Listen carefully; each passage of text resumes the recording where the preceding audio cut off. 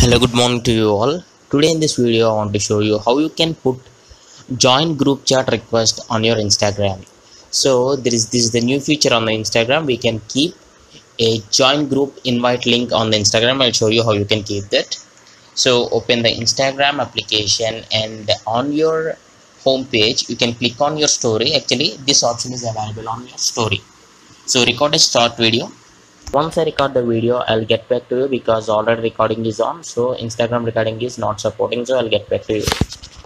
See here i have recorded a small video for the story. Just scroll up to get the options. So once you scroll up you'll see something like chat you can click on chat and this is the join chat option on the instagram. So name this group something like this. Uh, party group whatever it may be just for example i'm writing something and click on done here. So send to your story first of all. So click on your story. If any of your friend or mine is a public account so anyone can view this story by tapping on that.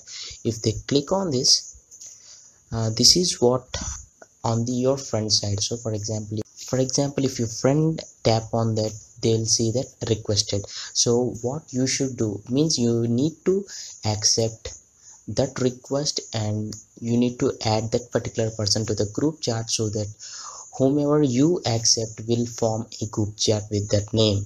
So so we are done with adding the join chat request on the instagram and let us check if we get any requests.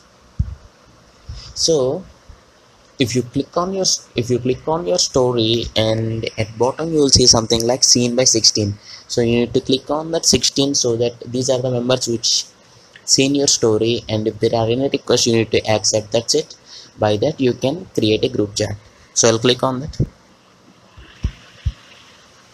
So there is one request. I need to click on this plus symbol so that uh, see see here uh, this is the group just you need to click on the blue tick symbol so that and click on start chat and here you will see this party group. Uh, i hope you like this and thanks for watching. Have a nice day